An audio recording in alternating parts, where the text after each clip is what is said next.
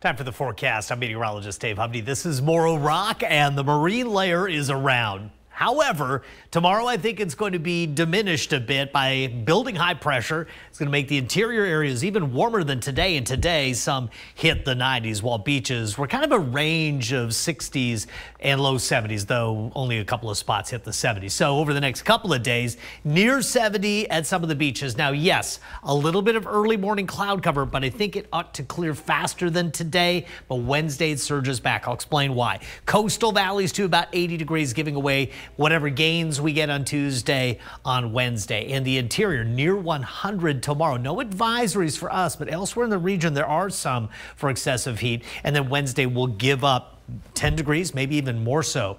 Now, Sacramento temperatures near 100 on Tuesday. Wednesday, you're looking at nearly 100. The Bay Area mid 70s backing off to about 70. Monterey in the 60s the next couple of days, but the downward trend is there.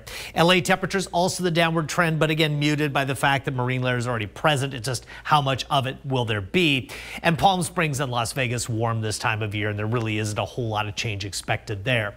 Take a look at current conditions. You got temperatures 50s, 60s at the beaches with 60s and 70s in the coastal valleys, including the Ynez Valley and the interior off the peak, but we're in the upper 80s and low 90s still in South Coast temperatures close to 70 downtown. So we're giving away some heat here at the coast. We're picking it up in the interior after a really mild weekend. And again, the winds are on shore here about 5 to 15. So Morro Bay was essentially socked in to start the day, but the base of the marine layer was fairly high and it did allow some clearing and as you saw here recently in the live picture, it's back. Modeling is anticipating more of the clouds pushing into the coastal valleys tonight, but you're going to notice where it doesn't go. It doesn't get deep enough to get all the way into the interior, and that's one of the reasons we're looking at temperatures near the triple digits in the interior as we go through the day on Tuesday. Right now it's 102 in Vegas and 104 in Palm Springs if you're just looking at the warmer numbers. Now, nationally speaking, we're warm, but we're not blisteringly hot right now. There are some interesting areas of activity, including what's going on here in North Dakota. So from Minot across to places like Grafton, North Dakota, it's raining, and there's some big thunderstorms heading through central South Dakota near the capital Pierre.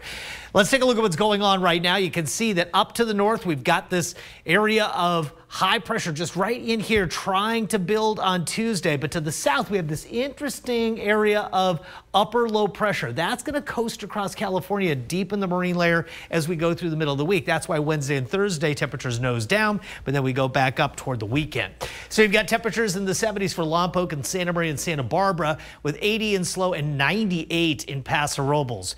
Beaches, though, with some marine influence, generally 60s to about 70. I do think that Avila might be one of those warmer spots. Five cities, again, right around 70 to 75 degrees. The deep interior is going to be warm. Cuyama near 100, Santa Ynez Valley closer to 80, South Coast right around 70.